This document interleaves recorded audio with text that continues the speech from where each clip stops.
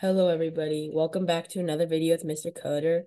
And in today's video, I'm going to do a video on how to solve question A, Rudolf in the Ticket from Codeforces round 933, division 3.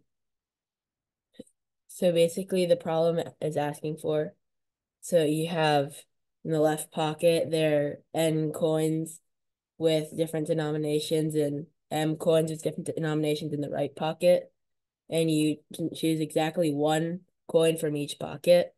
And how many ways are there to select different indices, not different numbers, but different indices of the denominations such that the denominations don't exceed K. So basically just so a walkthrough of the first example. So the N and M are four, and then K is eight. So the sum cannot exceed eight. So then there, there are six different ways because you can do one, and then you can combine it with two, this one, and this one. You can do five and combine it with this two, this one, and this one. And those are actually the only ways you can create, use two, two indices, one from each one that does not exceed eight. So that's why the answer is six.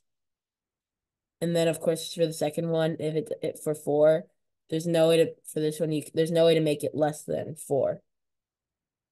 Or there's no way to make it less than or equal to four. The minimum is four and one, which is five. So that's where the answer is just zero. So this problem is this problem is just a brute force problem because you can see that n and m are less than or equal to 100 so you can just brute force it. So this is what I did. I got two two arrays and then I kept a counter and then I just looped through each one. I just looped through each array and just tried it to and set checked if it was less than or equal to k. So yeah, this is just basically a brute force problem. And yeah, if you like this video, please like and subscribe, and I'll see you in the next video. Bye.